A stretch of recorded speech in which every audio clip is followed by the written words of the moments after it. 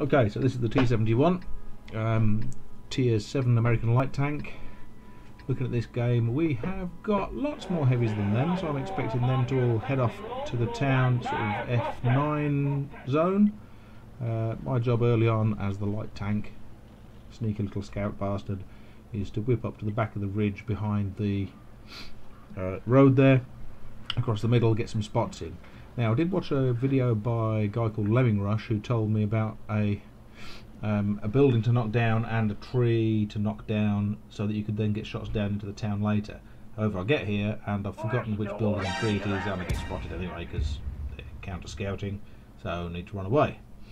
Um, I do not want to get shot by that 4190 Grand Finals because he's got high penetration HE which will wreck me big style.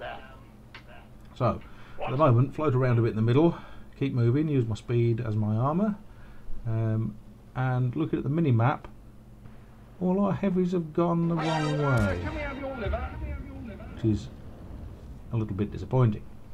So, okay, what do we do? Keep the spots up. Um, yeah, two guys in town. Um, decided to go for the reload there. Unfortunately, got taken for 239 by the Indian Panzer. So running away from him, notice I ducked and weaved, ducked and weaved. You don't want to run away from people in a straight line on the right, makes it easy for them to hit you. Use your mobility. Uh, so there's not really much support behind me. Everybody's cramming into two squares over on the wrong flank. Um, I'm thinking this doesn't look too clever. So park up, do a bit of hiding, get a couple of sneaky shots into the 4190 there. Three damage really, very helpful. Setting on fire, he got a automatic fire extinguisher. That's cost him 20 grand. And ducking and diving, spotted, so get moving. There is an artillery on the enemy team. Um, he's probably got enough to worry about down there, but there's no point taking a chance. T-54 lightweight, scary, tier 8. Um, but he's down to one. I've got one in the pipe, so I'd make the decision here head up and see if I can just finish him off. Risk taking a shot myself. And he bounces off. Somebody else kills him. Now we're one each at this stage. I'm pinging the map to point out to those guys down in the one square that they might want to think about that a bit. And I do pull up in the bush here to offer them some words of, words of wisdom slash sarcasm. Um,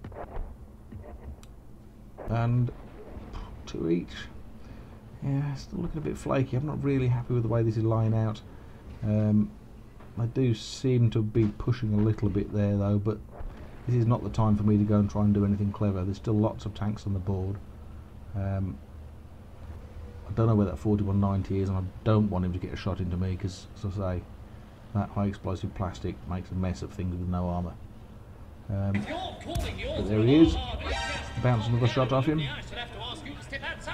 Duck and dive, duck and dive. Don't let anybody shoot you. Make it difficult for artillery, make it difficult for people shooting at you. And our guys are now pushing up the left here, and we're four three up. Okay, might, we might we might do this. It might be okay. Um, so I'm still carrying out evasive manoeuvres, um, and predictably our guys going up the left hand side taking some casualties because you tend to get people bunched up in that sort of B1, B2 zone on the enemy side. But I think it's time probably to push a little bit further for my spotting, go another square forward, see if I can find these guys. And if you look at the distance, the Ferdinand's only on 322, and I've got five in the clip remaining. I'm thinking, well, I can go and clip that guy. This, this might be time to push on the right. He gets taken out anyway. But even so, all I can see on the map now up that corner is the IS-3. I just need to be careful of the 4190. He pings up on the other side of the map, so I'm clear to engage the IS-3. I dash across here using my speed, and he spots me, and I take the risk here as well. And he does take a shot there, but misses because I'm super fast and he's got super Russian accuracy. At this point, if I pile straight round, um, that's what he's expecting. So I'll handbrake it, because I can, awesome physics. He's gone unspotted, so I know I can head back around the other side. I'm going to try and mug him off now and get back round behind him. Um, use my clip, use my speed, and use his lumberiness against him. Fortunately, get spotted a little bit earlier than I wanted to, but he's still facing the wrong way. Terrible shot, and I fluff most of these shots. I mean, this next one is terrible, awful angle. Need to be much squarer than that shooting heavy. The one at the back's good. Now, as I go away here, I make sure that building's between me and him. All the way, all the way, all the way, and then duck around the corner. So I'm safe while I'm reloading, safe while I'm getting away from him. Um, my heavies have decided at this point, um, happily, they've decided to join in. They've seen me make the make the dash there. Again, I head back where I came from. I don't go around the big loop where he'll be expecting me. And wait here for the STI to engage it. Um, if you're engaging heavies in something much much lighter, it's best if they're busy. Um, and it's best if they've just shot. So I'm going to head up behind our STI here who can wear a couple of shots although he takes a bit of splash damage from the arty there. And IS-3's just shot so I'll go in on him while he's reloading. This time I'll make a much better job of shooting him when he's square. So more of the shots go in. Uh, we could concerned he might push me in the water here but Duck around the front, no point shooting in the front, so I was going to go all the way around the side, but the STI finishes him off. Uh, I was quite lucky the STI didn't finish me off at that point. He could have held his shot another half a second, I thought, but never mind, not dead. Now, the enemy will be expecting me to head off to their corner and spot them up for my guys, um, so that's not what I'm going to do. I'm going to head back into town, and the plan at this stage is for me to go up the road, um, use the buildings and bushes that line that for cover, um, and approach if necessary from there. But at this point, the uh, our friend the 4190 pops up. Now he's on half health. I can clip him here.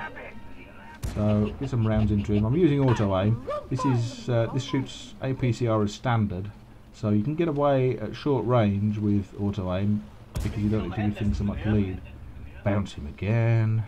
Could have done without that really because I don't want to take a shot from him. Um, get another one. He misses me. Duck round him. Clip him. Take a little bit of grazing damage there, but no, we're all good. So he's tied it up. That's nice because he's a dangerous tank if uh, if he knows how to play. Is he any good? Well, I'll look later. Um, so back to the original plan of heading up the road using the houses and bushes as cover. Um, it's pretty much a tidying up job now. Um, although our light gets taken out uh, by the Jagdpanther 2 but we know where everybody is really. Their artillery's dead. Um, and this is where you can really it's worth keeping something like a T71 alive until the end game because you can you can use it to mop up beautifully. It's so agile it's got a good accurate gun um, I'll take a while to aim on the nuts here um, it's going to be killed steel accidentally at the end there but you know I was planning to do more I should have probably killed the Jagdpanther 2 here, but managed to get the gun of that dead tank in the way, so couldn't. So I head in on him. Um, the Tiger's down there as well, but it looks like he was at the back of the lump, so probably won't spot me. He's up again. No red outline, he's not going to spot me. Um, I do make a mistake here, though. I don't realise that the Jagdpanther is looking straight at me. Um, but I take a bit of a chance running across in front of him regardless. Take a shot from him, but the pen on his APCR is sufficient to um, to get through his armour and finish him off. Obviously, if at this stage he hadn't died, I would have used the repair kit there and uh, used my ability to get round him. Uh, four in the clip. I'm not even going to clip the Tiger with a fresh clip, so there's no point reloading at this stage. But I will get in as sneakily as possible, let him know where I'm coming at the last possible moment. I'm in 50 metres, so he knows I'm here. And try and shoot him square um, but he's pretty much at my mercy now. I'm shooting him square in the armour. And it's time to reload and do the ring of death. Now this guy knows what he's doing. He's turning his hull and his turret at the same time to try and get as close to me as he can. It's a bit airy a couple of times and I do go a little bit wide at this stage and uh, he starts spinning the other way and I thought I'd cocked it up going over the hill. But he plants one into the hill. Uh, reloaded. I'm going to get round in front of him before he's reloaded. Shoot him square. No. Shoot him in the tracks. Oops. Um, this time, shoot him square in the back, and we light him, and he's dead. Uh, 2,442 damage. Um, so yeah, there you go. Let's have a look at the end plates. So it's a mastery badge with 6,201 XP on a triple, which was quite a nice game. Um, if we look at the second one, I'm top on XP by a good way with four kills. And finally, we made 27,753. So hopefully here I've managed to demonstrate why it's important to keep your light tank intact until the end of the game. Maintain your hit points at the beginning and you can really then use them to get into the bad guys, um, look for an opportunity once the enemy numbers are down a bit, get in and harass heavies and tidy stuff up and be really efficient and get some good rewards. That's all. Until next time, thank you for watching.